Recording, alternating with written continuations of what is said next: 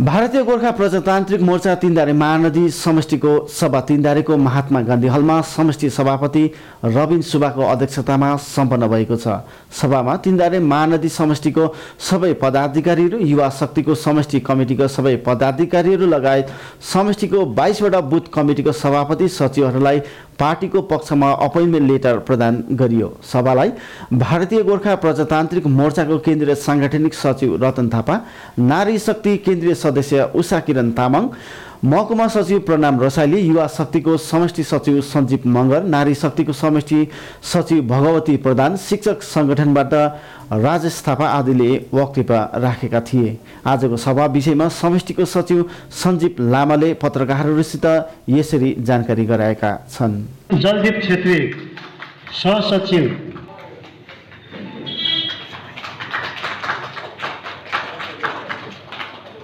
त्यस्तै प्रकारले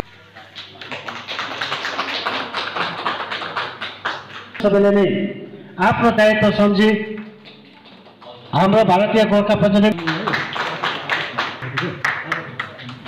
कार्यकर्ताहरू हाम्रो नेतृत्वहरूले सङ्गठनको निम्ति अनि यो क्षेत्रको र विकास हितको निम्ति तपाईँहरूले यसरी नयाँ पार्टीमा पनि आज अगाडि आएर तपाईँहरूले काम गर्नुहुनेछ। र अझै यसलाई अब हामीले सशक्त बनाउनुपर्छ। अझै यसलाई हामीले बलियो बनाउनुपर्छ यो पार्टीलाई। यो सङ्गठनलाई अझ हामीले दरिलो बनाउनुपर्छ। तपाईँहरूको यो सङ्गठन अथवा समष्टि राम्रै छ। आज तपाईँले बाइसवटामा एघारवटामा तपाईँले जित्नु भएको छ। तर अब हामीले खट्नुपर्छ र आउने दिनको चुनाव चुनाव आउँछै आउँछ।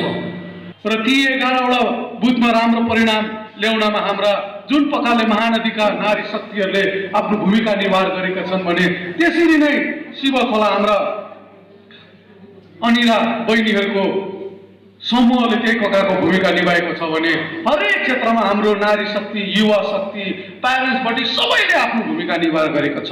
भारतीय गोर्खा प्रजातन्त्र मोर्चाको सभा समष्टिको तत्त्वावधानमा राखियो र जुन चाहिँ हाम्रो यो पार्टी गठन भएदेखि हाम्रो समष्टिमा हाम्रो जो कमिटी छ त्यो कमिटी पूर्णाङ्ग रूपमा भएको थिएन। र आज विशेष यो पूर्णाङ्ग कमिटी गर्नुको हेतु चाहिँ आज यो मिटिङ रमेश सुब्बाज्यूको सभापतिमा राखियो। र यसमा विशेष हाम्रो केन्द्रीय समितिको हाम्रो साणिक सचिव रतन थापाज्यू उपस्थित हुनुहुन्थ्यो। त्यसरी नै खरसाङ सब डिभिजनका मूल सचिव प्रणव रसालीज्यू र सबै हाम्रो उहाँको उपसभापति प्रेम प्रधान र अन्य प्रतिनिधिहरू सबै उपस्थित हुनुहुन्थ्यो र हामीले आज समष्टिको अन्तर्गत चाहिँ सबैलाई नै हामीले एउटा नियुक्ति पत्र आफ्नो पदमा अनुसारले चाहिँ हामी सबैलाई नै आज प्रदान गरेका छौँ आज।